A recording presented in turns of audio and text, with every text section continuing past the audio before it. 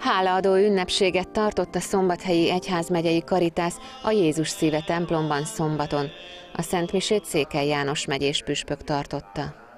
Korának az egyik leggazdagabb környezetébe került, és mégis igen, gyakran, igen hamar Szent Erzsébet átkerült a másik oldalra, a szegények közé. Ezt emelte ki az egyházmegye vezetője második András magyar királylánya életéből. Árpád házi Szent Erzsébet a Karitász védőszentje. A szervezet ilyenkor ismeri el önkénteseinek önzetlen munkáját.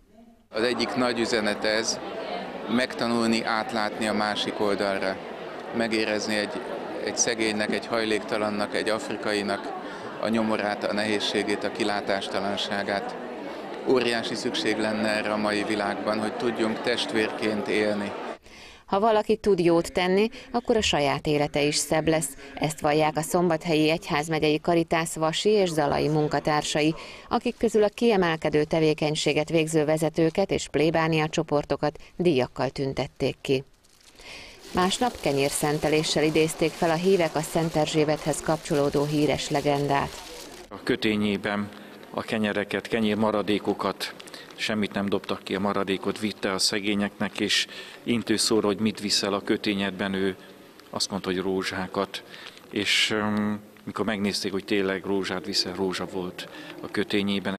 Kenyérosztó Szent Erzsébet történetére emlékezve ezért zárult hagyományosan kenyérosztással a vasárnapi mise. A hívek saját környezetükben kereshetik meg ilyenkor azokat, akiknek örömet okoz az étel.